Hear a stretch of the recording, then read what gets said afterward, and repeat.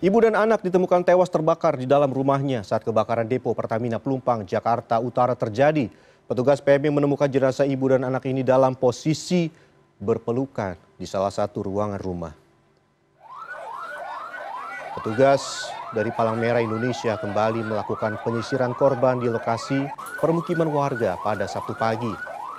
Kali ini petugas kembali menemukan korban di salah satu rumah yang merupakan ibu dan anak.